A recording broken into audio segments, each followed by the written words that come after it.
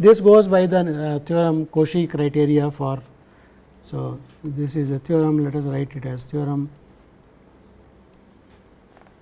Cauchy's criteria. F n converges to f uniformly. If and only if f n is Cauchy.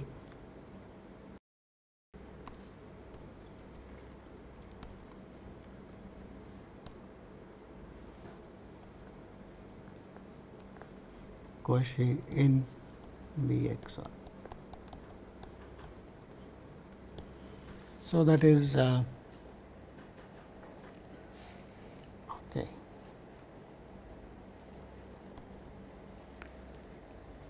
So, we have seen uh, uniform convergence, we have seen when a sequence does not converge uniformly, a criteria for that. We have seen now a criteria which says when does a sequence converge uniformly, right. Namely, it should be converging in the BXR and that is same as saying it should be Cauchy there. Okay. So, we know we can test uh, sequences uh, being converging uniformly or not. So, let us finally look at uh, whether this serves our purpose of uh, saying that when pointwise convergence limit was not continuous functions converging pointwise the limit was not continuous convergence uh, uniform differentiability did not imply the derivatives uh, converge okay? And uh, integral also we had an example that f n's are integrable converging pointwise did not imply that limit is integrable okay? And these are important things uh, as far as the convergence problems are concerned. These are important problems in analysis because whenever you want to go beyond algebra algebra is 1, 2 and 3 only finite number of operations. When you, you can look at only polynomials right? To generate functions which are non polynomial non rational functions you have to go to analysis right? That is why we had to do all that exponential logarithm trigonometric. All those functions were cannot be obtained using algebra alone. You have to go to limits okay? So uh, things that are preserved. So, let us uh, write theorem 1 f n converges to f uniformly implies and each f n continuous at some point x naught implies f also continuous. At the point x naught. So, let us write a proof that continuity is preserved in uniform convergence.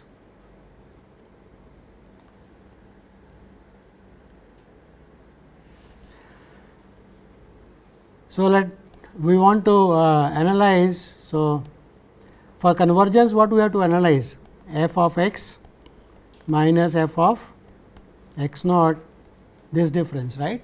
We want to show f is continuous we have to make this thing small whenever x is close to x naught. So, f n converges to f uniformly right. So, uh, uh, okay. So, let us I have to somehow bring in f n inside it right because something is given about f n. So, let us bring in. So, this is f x minus f n of x plus I have subtracted. So, let me write f n of x minus f n of x naught plus f n of x naught minus f of x naught. I am adding and subtracting what I am f of x I subtracted f n of x I add f n and then I subtract f n at x naught, add f n at x naught and the final term is there as it is. So, I have added and subtracted and used triangle inequality.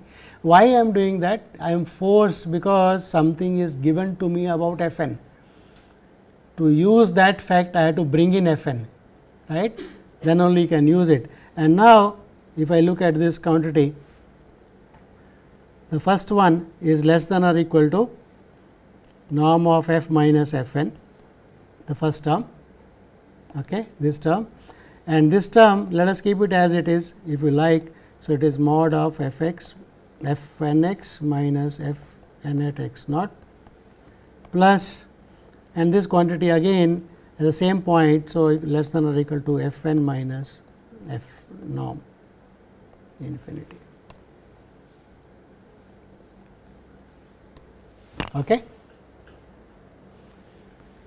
And now, I know that this quantity is small because f n is converging uniformly to f. Both these quantities are small, right, this and this.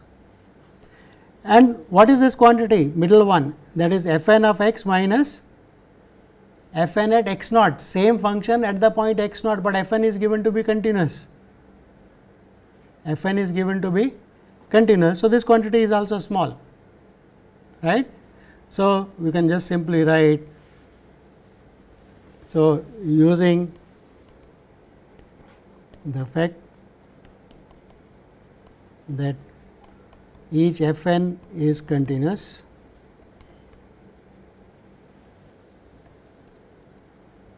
using the fact that each f n is continuous and f n minus f goes to 0 so, this equation star implies f is continuous. Is that okay?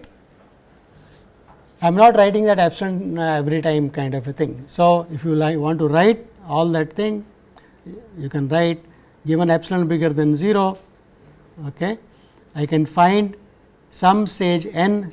So, that this quantity is small this quantity is small less than epsilon and by continuity for f n after that stage for that stage right uh, this will be less than uh, epsilon okay by continuity. So, I can find a delta such that you want me to write everything okay let me write so that you feel happy. So, what does this mean? So, so here is what I am saying let epsilon greater than 0 be given. So, this is how formal proof will be written. Choose n naught such that mod of uh, f minus f n is less than epsilon for every n bigger than n naught. That is by using the fact that f n is converging to f uniformly. Also, for so let us take this f n n bigger than n naught. Let us take n naught itself, f n naught being continuous. There exists a delta bigger than 0 such that mod x minus x naught less than delta implies f n naught x minus uh, f n naught of x naught is less than epsilon.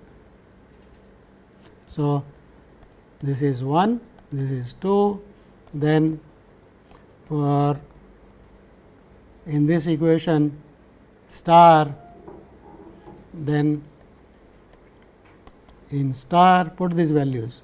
So, this is less than epsilon, this is less than epsilon, this is less than epsilon and this is less than epsilon when x is close to x naught by delta. So, you get so in star um, x minus x naught less than delta implies uh, f x minus f x naught will be less than 3 epsilon does not matter right.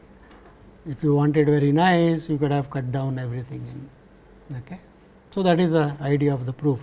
So, you should understand what you are doing saying this thing I can manage I can make it small by using the fact that f n converges to f uniformly.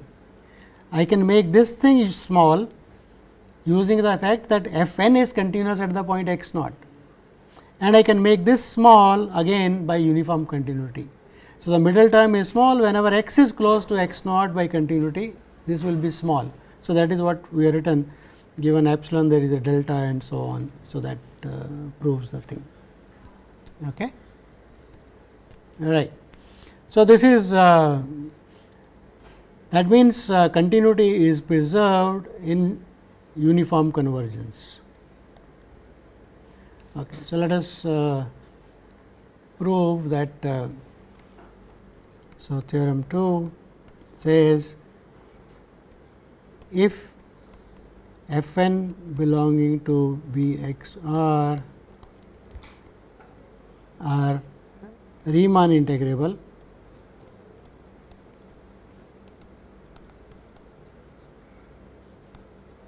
and f n converges to f uniformly,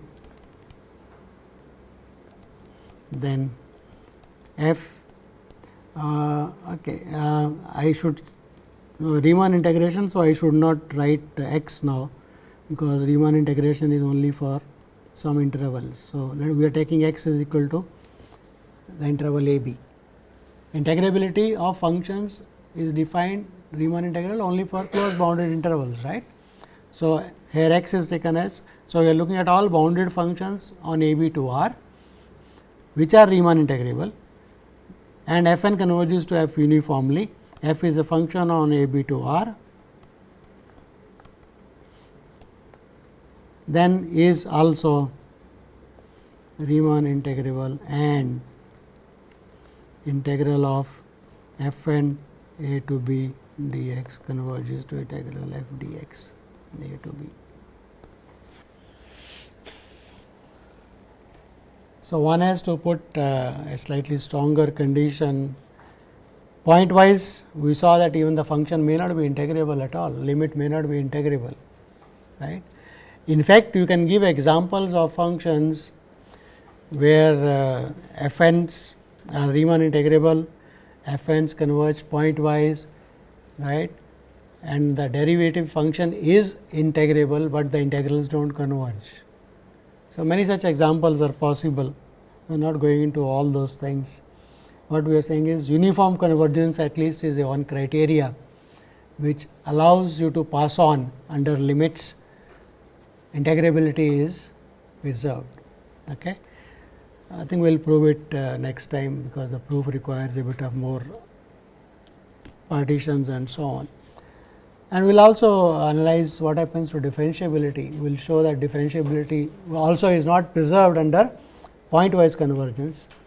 And in fact, one has to put very strong conditions uh, for differentiability also, even for uniform convergence. So, these are uh, slightly uh, deeper theorems and this uh, this thing that uh, when does integral of f n converge to integral of f for Riemann integrable functions uh, as I had mentioned is the beginning of the story of Lebesgue integration. In general it does not happen, it happens for uniform convergence. Okay. What other class can happen that is. So, we will stop here.